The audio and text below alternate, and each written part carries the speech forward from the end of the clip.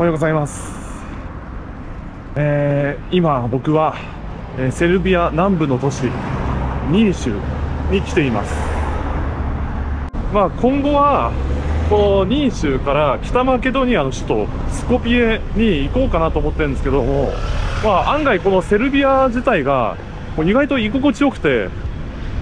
割と気に入ってるんですよね。まあ、部分的に不便なところはあるけれど、でもなんだろう、今いるこのニーシュっていう街が、まあ割とこう、のんびりとしてるっていうか、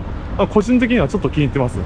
あの、首都のベオグラードと比べると、こう坂がないんで、しかもご覧の通り、なんていうのかな、こう、個人的な感想としては、うん、なんかね、ちょっとアジアっぽいところが、一部、一部何箇所かあったんですよね。まあ、本当なんかアジアっぽいような建物、なんかそれに近いような景色が何箇所かあって、ちょっとなんかどこか懐かしい感じがしたんです。あ、なんていうのかな。えっ、と、これなんて言えばいいのかちょっとわかんないですけども、ちょうどこのセルビア自体が、まあ、そのヨーロッパとアジアを結ぶ、その分岐点というか、まあなんかそういう役割のある、拠点になってるみたいでして、特にこのニーシュがそうらしいんですけれども、なんかそのためか、まあ部分的にそのヨーロッパっぽい場所もあれば、まあ一部そのアジアっぽいような、まあ景色、なんかそれらしい景観っていうものがあるんで、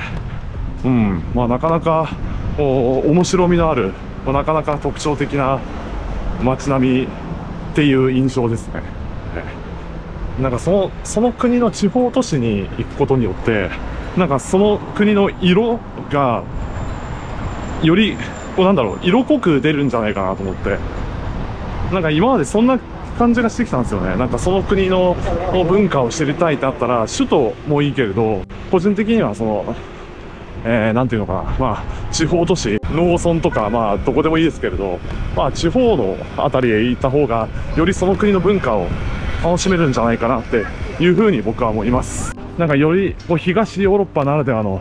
魅力が少しずつ出てきましたね。そうそう、この IDEA なんですけど、ここ24時間なんですよ。まあ、店によって10時までっていうところもあるけれど、うんここは割と気に入ってますね。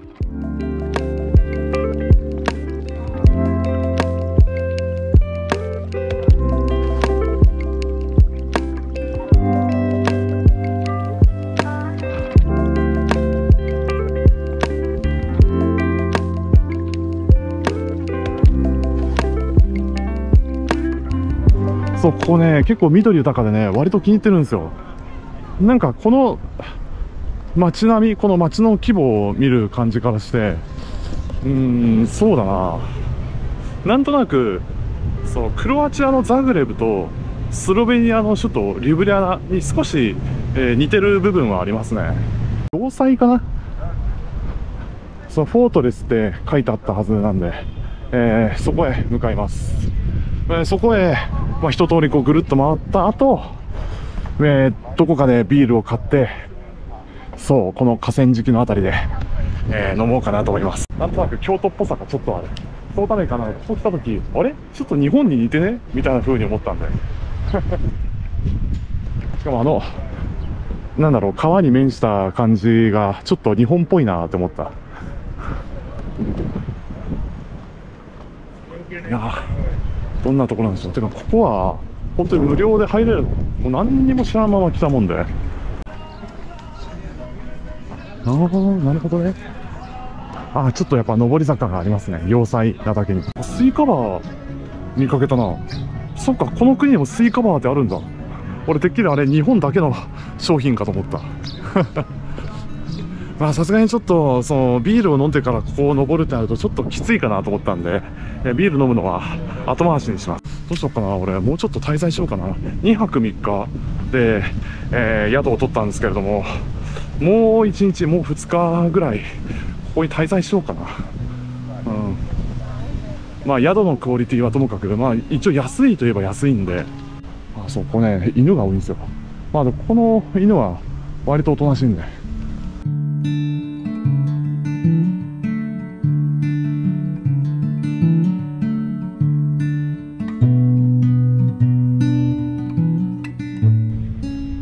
ベオグラードみたいになんかあんまりこう都会っぽさがないっていうかあんまりこうぎゅうぎゅうしさがないんでなんか気持ちいいなここなんだろう、風がすごく爽やかで、とても、うん、心地いいです。いやー、めっちゃ気持ちいい。何も知らんまま来たもんだけれど、案外いいもんだな。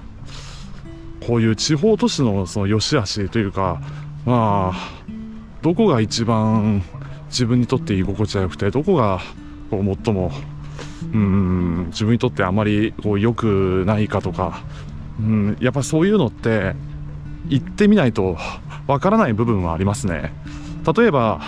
まあ、たくさんの人がそのフランスのパリはすごくおしゃれで最高とか、あとは東南アジアで言ったらタイのバンコクはめっちゃコスパいいみたいな話、もうよく耳にするんですけども、実際僕が行ったものの、じゃあ実際行ったものの、だからあんま好きにならなかったんですよね、この2つとも。フランスはフランスでなんか、こう移民が多くて、なんか、都市自体ちょっと、こう、うん、なんか、こう息苦しいっていうか、まあ自分はね、そう感じたんですよ。うん。で、タイのバンコクに関しても、その、現金のみのところが多くて、で、あとタイの人たちも、ちょっと僕が出会った中ではの話ですけど、なんかね、こうあんま好きになれなかったんですよね。うんなんかまあ、その時もそれ、運次第かもしれないけれど、まあ出会った人の印象といいますか、まあそのこともあって、やっぱりその国で、えー、どんな人たちと出会えるか、どんな景色と出会えるかによって、その国の印象っていうのが、その人によって大きく変わるんで、うん。まあそういうのはね、行ってみないとわからないものはありますね。えーと、さっきの中央広場へ戻って、えー近くのスーパーでビールを買って、ちょっと休憩しようかなと思います。そして、ここにも野良犬がいます。なんか、ギリシャとトルコとジョージアにも野良犬は結構いるって言うけれど、まあそれらはちゃんと、なんか、まああの、狂犬病のワクチンとかもちゃんと打ってて、ちゃんとこう印をつけられてる犬が多いっていうんで、基本的には安全といえば安全らしいですね。どちらかっていうと、東南アジアで見かける猫と犬の方が危険です。スーパーでビールを買いました。しかもこれ、取っ手がついてるんで、開けるのがめっちゃ簡単ですね。おお初の瓶ビールだな、これ。乾杯。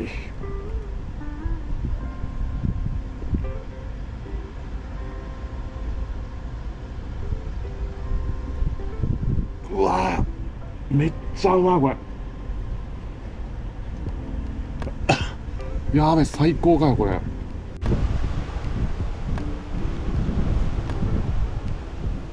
あ。いや、もうこの時間がもうほんまに至福のひとときですね。いやー、こうほんまいいですね。すごいののどかな感じ。しかもこの川沿いから来るこの風がすごく心地よくて、かなり気に入ってます。ここはもうほんまに憩いのひとときを過ごすにはもう最適な場所ですよ。めっちゃいいですね、これ。まあ、あまり有名ではない分、まあ、本当にのこうのんびりとした街並みが、もう、なんていうのかな、よりローカル感が出て、なかなかいいもんですよ、これは。というわけでね、もう他にやることもないですし、えー今日の動画はこの辺で終わりにしたいと思います。えー最後まで見ていただきありがとうございます。今後ともよろしくお願いします。もし今回の動画がいいなと思いましたら、えーグッドボタンと、えーチャンネル登録、よろしくお願いします。それでは次回の動画でお会いしましょう。ありがとうございました。さようなら。